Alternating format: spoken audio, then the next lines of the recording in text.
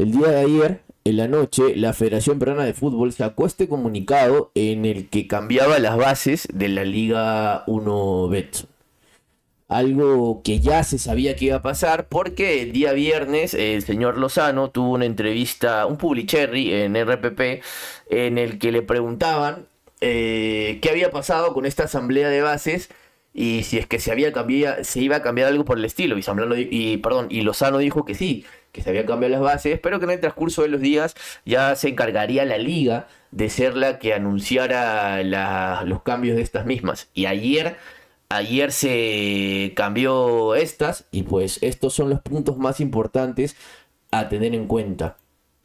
En sí, los puntos que, les importa más a, Alianza Lima son cuatro y que tienen que ver directamente con el tema de los de la transmisión de 11.90 que va ligado con el partido que se va a jugar el sábado. Recordemos que la fecha que viene, que se juega sábado y domingo, eh, Binacional, Melgar y Alianza juegan de local. Tres equipos que pues están en el aire y siguen todavía con la disputa en el tema de los derechos con la Federación Peruana de Fútbol. Ayer Cusco FC jugó su partido contra Alianza Atlético de Sullana y este fue transmitido por 11.90, lo que nos hace entender de que pues Cusco FC dijo y se ha unido a los demás equipos que van a ser este, tomados en cuenta por 11.90 para sus transmisiones de partidos. Dejando así a cuatro equipos solos. Alianza Binacional Melgar y Cienciano. Cienciano ya sufrió una reprogramación. Pues Binacional, Melgar y Alianza de... Es que, es que, ya, es que ya no pueden, es que ya no pueden no jugar. Tú te preguntarás por qué. Pues por ese cambio de bases que tú estás viendo acá arriba. Hay cuatro puntos este, específicos que, te, que nos interesan en este tema. y te los voy a detallar. El primero es que si, los clubes, para empezar, si Alianza el sábado, en la noche, no acepta que 11.90 pase y que el partido no se transmita por este, ¿qué es lo que va a suceder? El partido va a ser reprogramado. Va a ser reprogramado en una cancha neutral. Y sin público de por medio. O sea, ahí Alianza ya está perdiendo taquilla. Punto número uno. El partido en cancha neutral sin taquilla se va a transmitir sí o sí, quiera o no quiera, por 11.90. Punto número dos. Punto número tres. Los gastos que genere que se alquile esa cancha neutral, que se mantenga la estadía del equipo rival, que se le pague a la, al broadcaster eh, de por medio para que pueda transmitir el partido. Y todo lo demás va a correr por gasto de Alianza Lima. Y es que se niega a jugar el sábado. Punto, ese es el punto número 3. Y el punto número 4. En caso se sea reincidente y el que si y el, y el, si, y si el siguiente partido de local se niega a hacer exactamente lo mismo, pues hay un apartado en donde la Federación Peruana de Fútbol, para ser más precisos, en el, artículo 11 y 13 del Reglamento de Justicia, tiene como sanciones quita de puntos, cierre de del estadio, pérdida de licencia y por último el descenso. O sea, Lozano ha cambiado las bases para agarrar así en los huérfanos, a los cuatro equipos y ¿a dónde vas? Ya no vas a hacer nada más. Te quedas acá. Te quedas acá. Eso ha, puesto contra las cuerdas a Alianza Lima. O sea, Alianza ya no puede darse el lujo de ya no transmitir el partido, perdón, de ya no presentarse a jugar o de verse en el extremo de que la federación reprograme dicho partido. Para empezar, no se debería ya, o sea, Alianza ya no debería jugar al tema de la reprogramación, porque lo, vengo diciendo desde el domingo que eh, en vivo luego del partido. O sea, Alianza ya no puede darse el lujo de jugar cada 15 días, hermano. Estamos ahorita a 20 días del sorteo de la Copa Libertadores. 20 días que se van a pasar volando. El 5 de abril empieza la fase de grupos de la Copa Libertadores. O sea, Estamos hablando de exactamente una, dos, tres, cuatro semanas. cuatro semanas en las que Alianza debería jugar como mínimo tres o cuatro partidos. Si se llega a reprogramar la fecha 1 y 2 en fecha FIFA. Tenemos que tener rodaje, hermano. Dicho Salas en declaraciones eh, luego del partido contra UTC fue muy claro y fue muy tácito en decir, pues a veces el equipo no se está encontrando por la falta de partidos. Y tiene razón, hermano. Van tres meses del, del año y solamente hemos jugado tres partidos por puntos. Cada 15 días. No podemos seguir así, Cholito. No podemos seguir así. No podemos. Va, afecta en lo deportivo y ahora te va a afectar en lo económico. Porque así te niegues a que 11.90 no entra a tu estadio, te vas a joder. Porque te lo van a reprogramar en cancha neutral y 11.90 sí va a transmitir ese partido. Vas a perder taquilla porque va a ser sin público. Vas a perder dinero porque vas a tener que pagar estadía del equipo rival, los días que se quede hasta la reprogramación del mismo, vas a pagarle al broadcaster por toda la producción que tenga que hacer de por medio, vas a tener que pagar el alquiler del estadio, etcétera, etcétera, etcétera. O sea, dejas de percibir dinero y encima vas a perder todavía más. Y ya, y si eres reincidente, pues quita de puntos, pérdida de licencia, te van a cerrar el estadio y por último, chafa con pollo, te vas al descenso. Ya no se puede, hermano. No sé si todavía sigue habiendo un conflicto interno entre, entre la gente del Fondo Blanquiazul, para serle sincero. No sé si todavía lo sigue habiendo. Consulté hoy día y me dijeron que no había nada nuevo.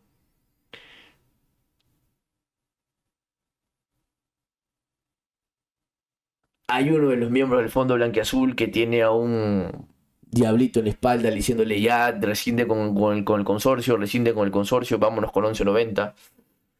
Hay otro lado en el que está diciendo, aguanta tu coche, hermano, eh, eh, eh momentito, espérate, no te vayas. Hay arrugas de por medio. Lo que yo creo que Alianza Lima debería hacer y plantearse muy bien es que este tema ya se está yendo muchísimo por lo legal en cuanto a estas arrugas que está teniendo la Federación Peruana de Fútbol por el tema del del tema de Rubiar y que no hay contrato con 1190, etcétera, etcétera, etcétera, etcétera, etcétera de por medio. Pues debería hablar con el consorcio y decirle, a ver, Casal, vamos a hacer una huevada. ¿ya? Yo lamentablemente yo no puedo seguir perjudicándome lo deportivo, así que voy a jugar, voy a dejar que 1190 me transmita los partidos, pero mientras tanto vamos en paralelo con el tema legal, porque de alguna u otra manera Lozano va a tener que caer con ese tema. Ya te vuelvo y repito, no hay nadie que camine tanto tiempo en el fango sin resbalarse. Es imposible, Lozano va a tener que caer. El problema es que cuándo va a caer. Y como tú no sabes cuándo va a caer, no te puedes dar el lujo de esperar a que ese cuándo pase en algún momento de la vida y de la historia. No, se puede dar ese lujo.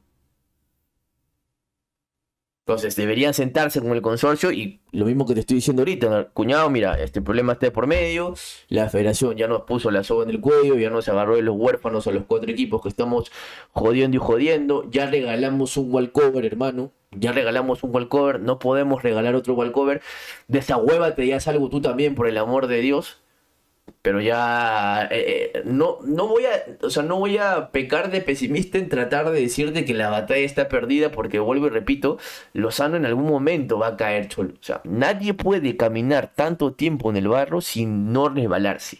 Nadie, weón. El problema es que ese cuando no tiene fecha, no tiene hora y no tiene lugar. Ese es el gran problema.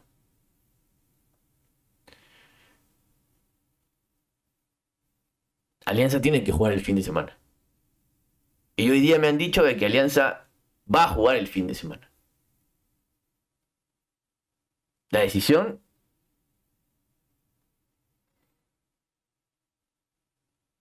no quiero decir que si está tomada ciencia cierta, porque a veces uno dice, puede decir que sí esté tomada, pero falta miércoles, jueves y viernes para que llegue el partido y sobre todo porque con los antecedentes ya de fechas anteriores en las que la reprogramación se ha dado en la madrugada del día anterior a que se juegue el mismo partido,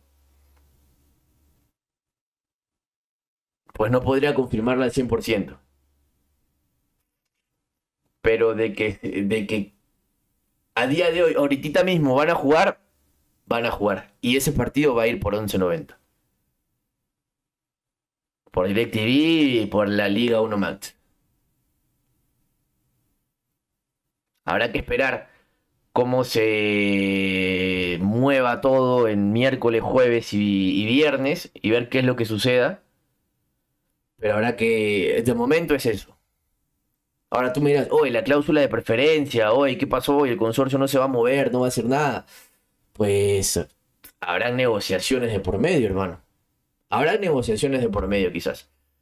Bueno, repito, Alianza ya regaló un walkover la, la primera fecha regalamos, regalamos un walkover la primera fecha para apoyar este, este movimiento, para apoyar esta, este blindaje, para apoyar que estemos todos juntos, pero que se vaya la U, que se vaya Boys de Blitó, se ha ido eh, Cusco, el consorcio ya está pasando los partidos de Muni, de la U, de Manucci y, de, y del mismo Boys. Y en el aire se han quedado Melgar, Cienciano, Binacional y Alianza. La fecha que viene juegan, de esos cuatro, tres juegan de local. Pueden, mira, mira si, comparamos un ratito con, con, la gente de Melgar, yo no creo que Melgar se siga dando el lujo de que le reprogramen el partido. Tiene, está sin entrenador, cero puntos en la tabla y cero goles. ¿Tú crees que Melgar, pensando en lo deportivo, se va a dar el lujo de que le reprogramen otro partido? Habiéndole ya reprogramado uno y teniendo cerca la Copa Libertadores, con cero puntos en la tabla y cero goles de por medio, sin técnico.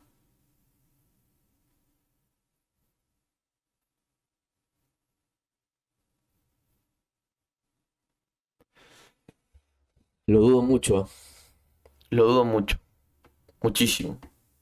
Bueno, repito, lo que en, eso, en, esa, en esa llamada de 30 minutos que tuve, en el que me comenzaron a decir una, una que otra cosa, pues el partido del sábado se va a jugar por 11.90. Alianza lo va a jugar y el tema legal lo va a tener en paralelo para ver qué es lo que sucede. Pero ya no, ya no, ya hasta el comando técnico está molesto que ya no quiere seguir con esta misma soncera de por medio. Ya no. Y ya no tan cerca un, una competición tan importante como es para nosotros la Copa Libertadores y por la cual se, han esforzado por tener a García, a Andrade, a Zabac, a, a, Cueva. O sea, imagínate a Chicho hoy día en su asiento diciendo, a ver, hermano, sí, sigo sin encontrar mi medio campo. Ya llegó Cuevita Probablemente no lo puedo usar el primer partido. Probablemente sí lo voy a usar el segundo. Pero, ¿se jugará el segundo? ¿Cómo voy a llegar a la Libertadores, hermano?